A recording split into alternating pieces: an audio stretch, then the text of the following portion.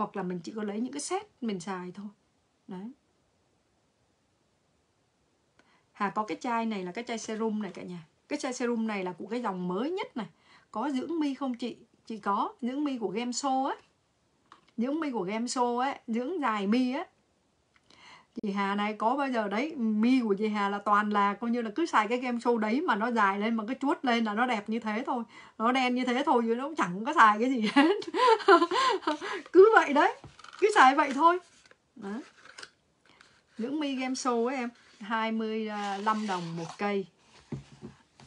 Cái này nó là cái chai serum nhé cả nhà nhá cái serum của cái dòng Amor là cái dòng nó cũng là một cái dòng nó mới ra luôn nhé cả nhà nha serum này nó nâng cơ da cả nhà.